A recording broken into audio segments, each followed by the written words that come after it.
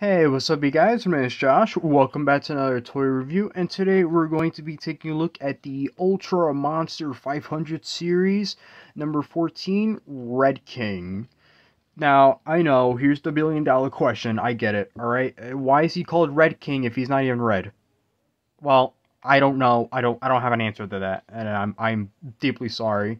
Uh, his description says that he's supposed supposed to be like a skull kaiju. I mean, I, I guess I could kind of see it based on his design. I mean, he does have a pretty interesting sort of menacing look. I mean, personally, if you ask me, he just kind of reminds me of Godzilla if he was like a corn on a cob.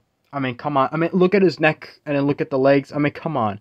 You can't tell me that you don't see it. I can't be the only one that sees that. Come on, look at it. I mean, before we get right to it, let's uh, explain his backstory, right? So he appeared in uh, 1966 Ultraman, and he appeared in episode 8 the anarchy zone. And it was a it's a pretty strange episode really. It's like when a whole bunch of monsters starts kind of attacking and then he was kind of like sort of the main lead sort of. Well not like the main lead but kind of like the biggest pushover and then you know we also uh, meet pigmon. This is sort of his first uh, appearance in the ultraman show not his first appearance since he first appeared in Ultra Q, but you, you get the point. I mean, the only difference is that Pigmon was actually kind of an ally to the Science Patrol and Ultraman, so that's interesting.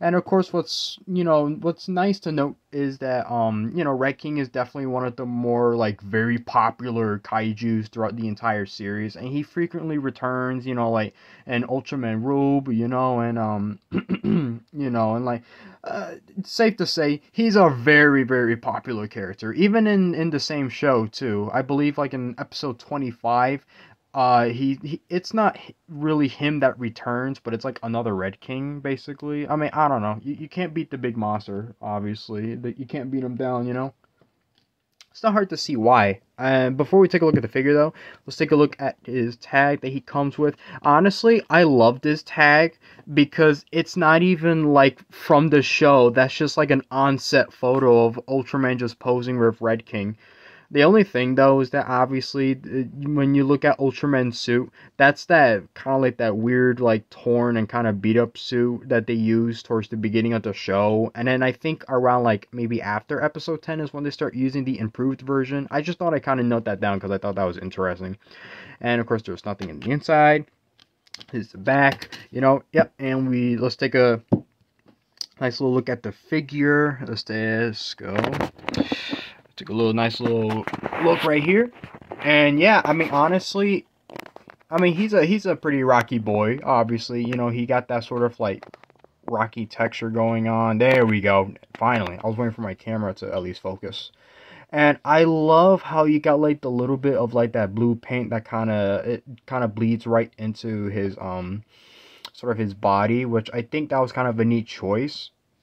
And I really like it. Although I don't know if it's I don't know. I don't know if it's because I like it because it's blue. I don't. if I'm being honest with you, kind of ironic, you know. I mean, he, he he's like blue and like in a lot of places, even under his feet where you kind of see it you know? And i mean throughout some parts of the episode you could kind of see it when whenever he fights ultraman.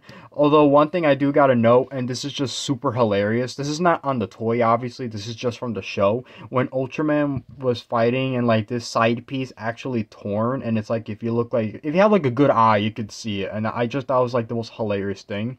I mean it wasn't their fault obviously. You can only imagine that you know in the suits the material probably wasn't very good.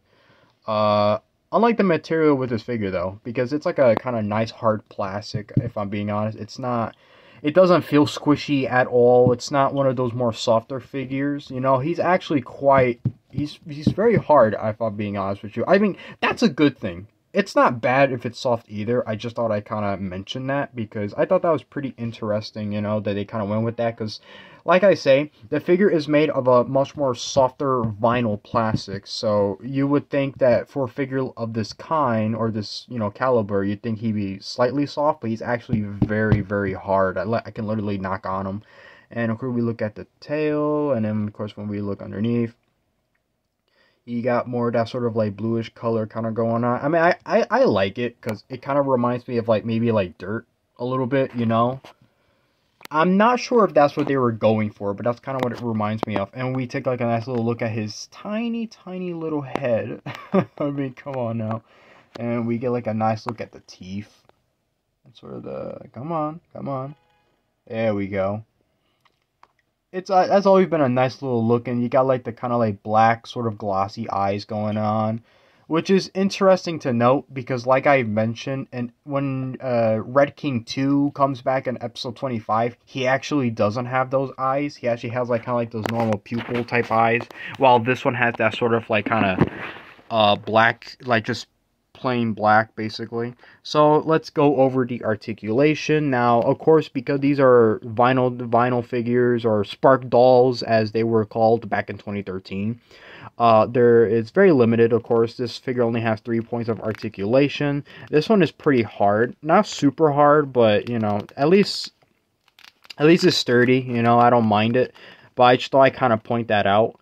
Uh, and of course, his arms can move. It can move full 360 and it looks like the waist can move but it actually does not. The waist doesn't move at all. This is for i guess when they glue the figure or sort of you know? I mean i see that in Gom- well not Gomora i would say Zetton too. I remember he definitely has that thing going on with his waist. So it looks like it can move but it really doesn't. But luckily it doesn't break the immersion too much at least it, at least it was nicely like you know sculpted and at least it's you know uh, planned out you know? At least this isn't like something that ruins the figure you know? It's not too much of an eyesore is what i'm trying to say. So all right before we end the video of course we have to do a size comparison. So here he is to the last monster that we took a look at which was antlar so, like I've mentioned, Antlar appeared in episode 7, so pretty much after that, we go into episode 8. So, I thought that it was fair for me to review this in order. So, as you can see, kind of the two Titans together, and you could kind of see them side by side, uh, which is pretty neat. You know, it, he's he's decently sized, at least. You know, that's that's good. Uh, although, as for Ultraman, I mean uh, you know, I, I that's that's kind of the issue. Obviously, the size. This one though, it's not too bad. I could I could kind of get around with it. He's supposed to be a lot more bigger, but I, to me, at least, this is sort of satisfying. At least, like he's still kind of you know. Same goes for Antlar. Antlar doesn't look too bad either. I think the size is fine. You know, it's not like perfect. It's not like he's super tiny. So at least we got that to think about. You know, so. And yeah, see, we could take a look at them right in the front it looks pretty good, you know? What else can I say? But he's not the only Red King to get his own figure, actually. Yep. So, um, here he is compared to his uh, other counterpart, X Red King. And man, I, I honestly I forgot when like what his first appearance was. I know it was like in like like monster battle something, you know. Uh, it was kind of like some sort of like kind of like battle royale against like kaiju's basically. Those like that kind of show, you know. And yeah, he's much more on the smaller size, but it's not a bad figure. Plus, it's nice to have multiple Red Kings, you know? I mean, he looks pretty cool. And yes, I will definitely review him in the future for sure. So, of course, let's uh let's do a try and do it a little quick, right? Let's let's show off some of the other um, Ultraman figures based on the on the 1966 series. Uh, here's Neronga, which I already did review. Uh, I wanted to take him out because I like how the back kind of looks similar, even though it's not really the same. But like, I just thought I just sort of mentioned that for you know detailing. And uh, oh, here's his uh, the other big baddie. We got Gomora, who will definitely get a review sometime in the future like I said, because I'm trying to review all the figures based off of uh, the 1966 series. And um, for one last round, you know, we got this is the next figure I will definitely review is Baltan.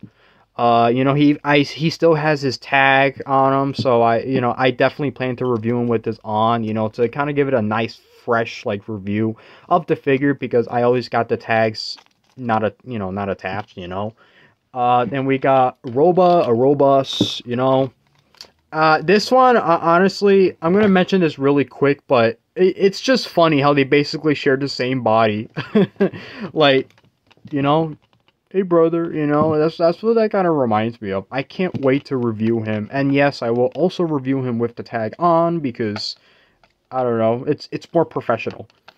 Uh, te- te- Telos Tesla Tesladon. I can't say his name, so I'm just gonna call him Tesladon. Uh, here he is with him right next to each other. Of course, he also got the tag. Why not? You know, but this is the more updated version. Obviously, we'll get into that when I start to review him. And last, but certainly not least, Pigmon you know, because they both appeared in the same episode. Even though I have to note this is not the same Pigmon that was in the same episode. It was a different version. This version of Pigmon is based off of Ultraman Max. You know, so I, I know it sounds weird, but trust me, when you look at the designs, you'll definitely see a lot of the differences for sure. So yeah, that's about it. That finally ends the review. Uh, I hate that it took me so long to finally get to it, but hey, here we go. You know, and I can't wait to review Baltan. Uh, honestly, I love this figure so much. Honestly, though, it looks great. All the details are there. You know, it looks just like them. You know, it's like it's the original thing. What can I say? And yeah, if you could kind of ignore the whole kind of issue with the sizing because it's honestly not too bad. Honestly, it's a solid figure. I give this a good maybe 10 out of 10. I know that that sounds weird. I know maybe maybe you guys don't really like that he's slightly short. I don't know. I think he's a perfect figure. He definitely kind of captures that sort of like look, you know? It's not like they got to shrink down some proportions or anything like that because yes that that is kind of a common issue in the ultra monsters lineup but honestly if you don't get if you don't got him get him on amazon he's definitely cheap on there if you don't have him uh, I don't remember how much, but you're definitely not going to be paying twenty dollars or so, right? You'll you'll be definitely paying for a decent amount. So until then, uh, hope you guys enjoyed the toy review. Uh, you know, as always, if you if you like the video, you know, leave a like or and subscribe. Uh, dislike the video if you dislike it, and yeah, you know, that's about it. See you guys in the next one.